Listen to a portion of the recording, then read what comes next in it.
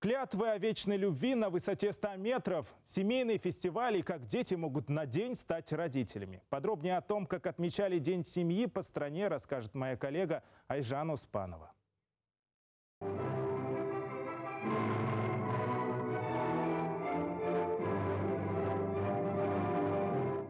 Не все невесты на регистрацию пришли в белом, но говорят, это не имеет никакого значения, когда дело касается любви. У нас, у работников ЗАГСа уже сам глаз наметан, смотришь на молодежь и уже чувствуешь. У тебя внутреннее чутье есть, которое тебе говорит, вот эта пара, они даже похожи друг на друга, они улыбаются одинаково, они смотрят друг на друга с нежностью. Мы знаем, что точно через год они придут и будут регистрировать рождение ребенка. В торжественной обстановке пары получили свои свидетельства о браке. Конечно, история каждого жениха и невесты уникальна, но все они выбрали День семьи как начало совместной счастливой жизни.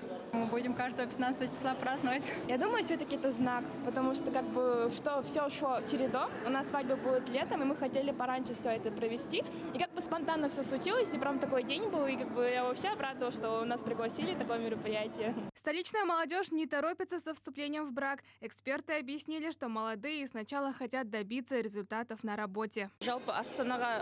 Зачем молодые приезжают в Астану? Чтобы получить образование, построить карьеру. Поэтому не могу сказать, что здесь рано вступают в брак. По статистике средний возраст 25-30 лет. А в Петропавловске в честь праздника провели фестиваль от Паса Бахат Кеполя. В состязаниях горожане участвовали семьями. За лучшую командную работу получали призы. Также для жителей организовали концертную программу. В этот день я желаю всем семьям, всем людям на земле, на планете благополучия, успехов. Мы стараемся участвовать во всех мероприятиях, во всех фестивалях, ведем активный образ жизни. Ну,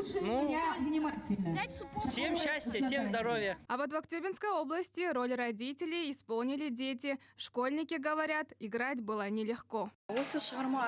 Благодаря этому спектаклю я поняла, что нет важнее никого, чем родные. А еще, что неважно, насколько ты занят, нужно уделять внимание своей семье. В школе надеются, таким образом дети начнут понимать семейные ценности, а родители вспомнят о значении воспитания. Ажан Успанова, Асяд Нургалиев, Первый канал Евразия.